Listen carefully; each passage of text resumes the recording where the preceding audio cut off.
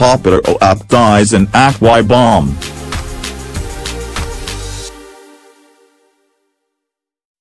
A popular radio on-air personality, OAP, identified as Cleo Tao has died in Uyo, the Akwa Ibom state capital.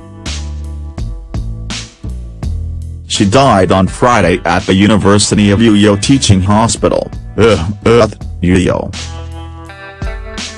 The sad news was confirmed by the CEO of Planet FM, Tony Afam on Friday evening on air.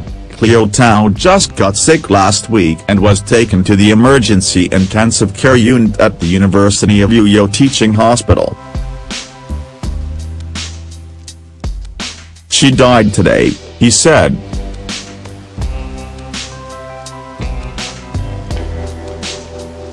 It is suspected that Ms.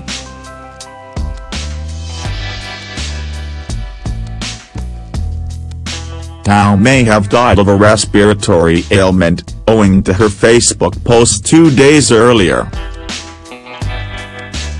Sorry guys, I had a respiratory challenge, I'm responding to treatment. I'll be out soon.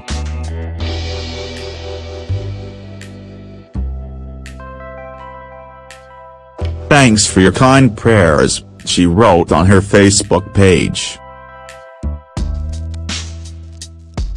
People who were close to Miss.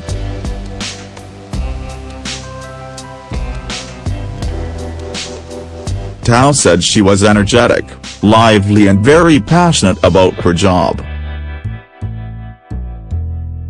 The deceased was the head of programs at a private radio station, Planet 101.